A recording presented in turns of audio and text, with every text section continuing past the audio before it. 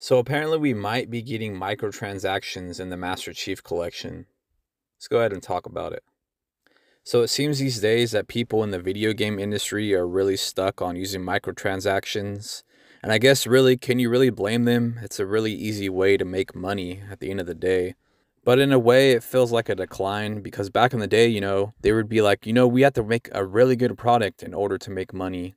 And now it's more about how what can we sell in game to make money. But yes, basically they're wanting to make it where you can buy season points.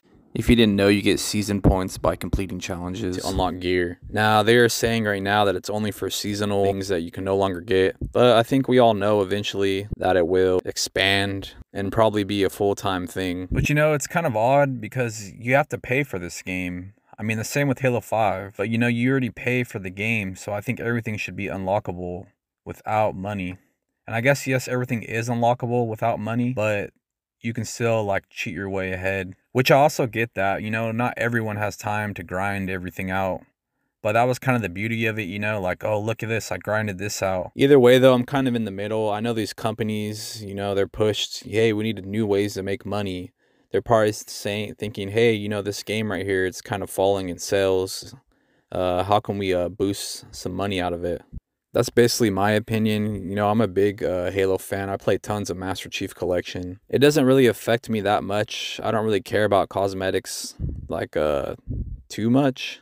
But I thought since it was a classic era game and a classic game that it would be kind of cool just to keep it, you know, how it was. No microtransactions at all. Unfortunately, though, that's just the business these days. And as long as people keep buying all these microtransactions, I mean, why would you? Why would you stop selling them? You know? Or stop making them. What does everyone else think about this? Do you even care? For me, like I said, I'm in the middle. It doesn't really matter to me. Yeah, I don't want to see it happen, but it doesn't really affect me. I'm still going to play these games, you know? These are classic games. All right. Later. Double kill. Triple kill.